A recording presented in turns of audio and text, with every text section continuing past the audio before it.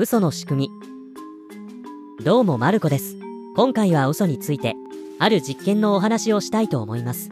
実験の対象は3歳から6歳児の子供で、ある物語を聞かせます。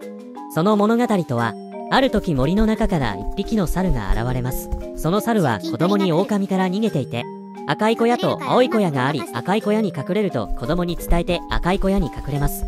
そこに狼が現れて子供に猿はどこにいるのかと尋ねます。5歳児だと猿は見なかったというか、青い小屋にいると嘘を言います。6歳児も同様に嘘をつきますが、しかし、これが4歳児になると、狼に猿がいるのは赤い小屋だと正直に言います。4歳児はうまく嘘がつけなくなります。3歳児も同様です。なぜ、4歳以下の子供はうまく嘘がつけないのでしょうか。子供は2歳半頃から嘘をつくようになりますが、空想や願望を話すことはあっても嘘をついているという意識はないことがほとんどです。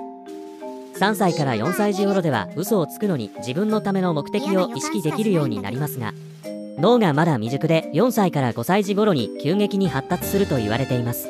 発達によって相手の気持ちを推測する能力が備わり、子供が嘘をつくためには相手の気持ちを推測する力、猿は狼に見つかりたくないという気持ちを推測し、狼に猿の本当ではない嘘の場所を教える。このプロセスを十分に遂行できた時に嘘という行動が成立します。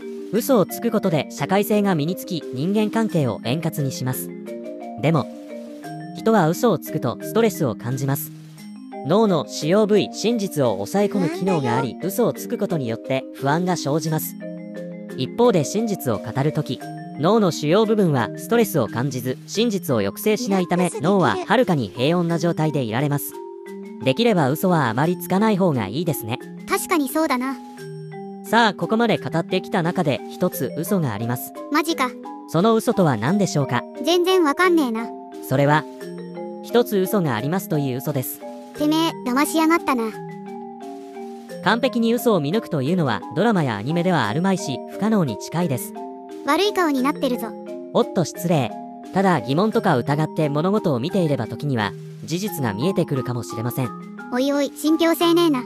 では最後に、ある著名人の名言で終わりたいと思います。嘘を大声で十分に時間を費やして語れば人はそれを信じるようになる。アドルフ・ヒトラー